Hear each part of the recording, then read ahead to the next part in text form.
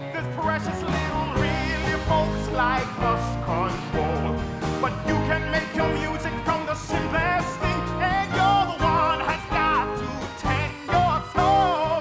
You got to give it room and let it, let it sing. I think there's there's something that, I mean, culture moves on, and it's interesting to look at something with a 17-year difference because there are some things about it that um, I don't remember people complaining about it being too long 17 years ago, but it felt when we were doing it now that that we should remove some of the material, that it was a little bit more leisurely than it needed to be. Yeah.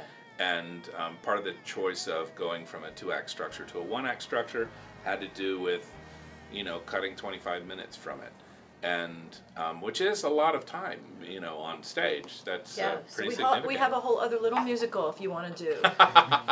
That's our other 20-minute musical. It's like a grab bag. the outcuts. That's great. You know when you have a milkshake, you're like, puka, puka, puka, there's a little left over you. yeah, the little stuff in the bottom. Stir that into your coffee.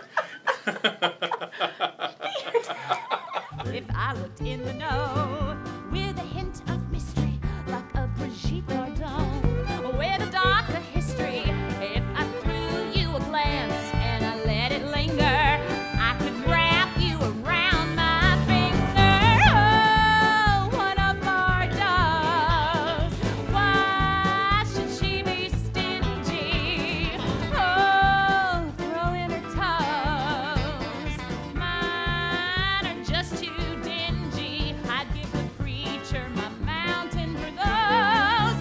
I think when when there are, are themes like the source material that speak to just being alive um, and are the human experience, like what she was looking at uh, or searching for, then I think that it, it will apply to the sort of the, the, the primal state in a way of our need to divide, our need to be loved, our need to be seen, our need to be healed, all of those.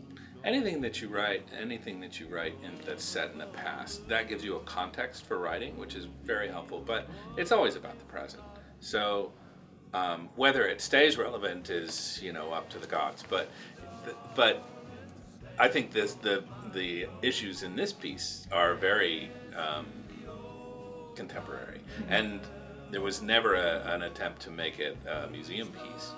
Um, it was always about you know where we were in our lives, and and it's, it gives you a, a lens, I guess, to focus on what you're interested in, and the um, the historical context gives flavor to it, but it's not about that time. Right. It's about us. Definitely, what you know, the one act version is, is the the definitive version, not the two act. So I think that that I would say is true. You gotta give it a room